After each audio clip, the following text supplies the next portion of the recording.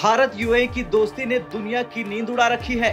कल PM Modi UAE में हिंदू मंदिर का उद्घाटन करेंगे। उससे पहले दुनिया इस मेगा इवेंट पर बड़ी नज़र बनाए हुए है, खासतौर से अमेरिकी मीडिया।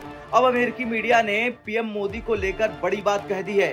इस विदेशी मीडिया के अनुसार इस साल भारत में चुनाव है। उससे पहले पीएम मोदी खुद को वर्ल्ड लीडर के रूप में स्थापित करना चाहते हैं।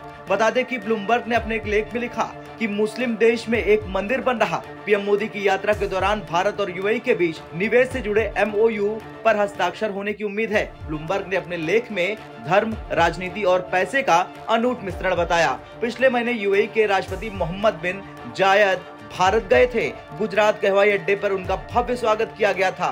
दोनों देश हाल के सालों में राजनीतिक रूप से एक दूसरे के करीब आ गए हैं। खाड़ी देश में इस बार पीएम मोदी की ये सातवीं यात्रा होगी। भारत और पाकिस्तान के बीच 2021 में एक शांति समझौता कराने में भी यूएई ने मदद की थी। बाइडेन समेत वैश्विक नेता लगातार पीएम मोदी का समर्थन करते रहते हैं। हाल के सालों में बने घनिष्ठ संबंधों से यूएई और भारत दोनों को आर्थिक और जियो के लिहाज से लाभ होगा। भारत और इस क्षेत्र के बीच संबंध कभी इतने मज़बूत नहीं रहे। भारत मध्य पूर्वी तेल के सबसे बड़े ग्राहकों में से एक है। वही यूएई से एक बड़ा निवेश भारत में होता है। संयुक्त अरब अमीरात के राष्ट्रीय सुरक्षा सलाहकार शेख तहन्नुम बिन जायद अल नहयान की निजी निवेश फर्म रॉयल ग्रुप का भी लंबे समय से भारत के प्रति आकर्षण रहा है।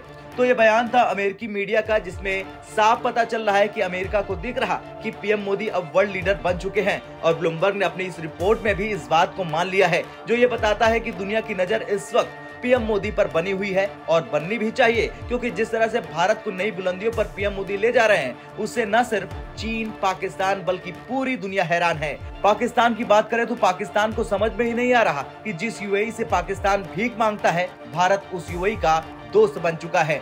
खैर, जिस तरह से पीएम मोदी ने यूएई के साथ मज़बूत संबंध स्थापित किए, वो साफ़ बता रहा कि अब मुस्लिम देश भारत के साथ कंधे से कंधा मिलाकर आगे बढ़ने को तैयार हैं। और अमेरिकी मीडिया भी अब पीएम मोदी को लेकर वर्ल्ड लीडर की बात कह रहा जो भारत के लिहाज से अच्छी खबर है। अब आपका क्या कुछ कहना है इस खबर को लेकर और पीएम मोदी को लेकर कमेंट कर कर ज़रूर बताएँ। ब्यूरो रिपोर्ट, भारत तक।